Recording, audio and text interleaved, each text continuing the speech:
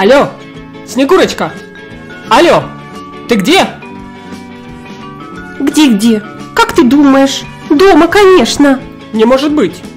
У нас нет дома. Вот и я говорю. Живем непонятно где. Спим непонятно где. Едим одни конфеты. О, ты опять начинаешь, Снегурочка. Я тут почему звоню? Слышишь?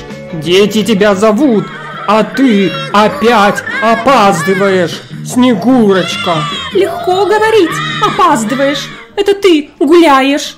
А я на сообщения отвечаю. Это раньше письма писали, а теперь сообщения посылают.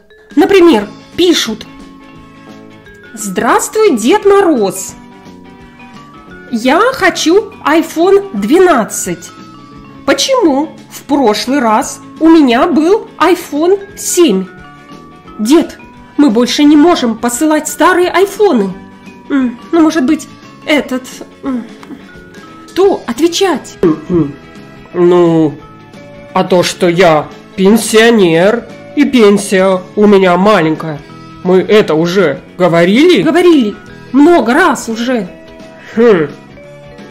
А почта медленно работает. Старый трюк. Может, Санта-Клаус может помочь? Какой Санта-Клаус? Дед, ты что? Мы в него не верим. Что же делать? Ну, а что делать? Только я слышал, Санта по-русски не понимает. Хм, я слышала, что Санта-Клаус очень хочет изучать русский язык. Дед, дед, это Санта. Сообщение.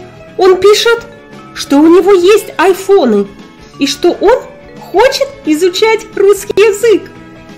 Хм, окей. Только тихо. Мы же в него не верим.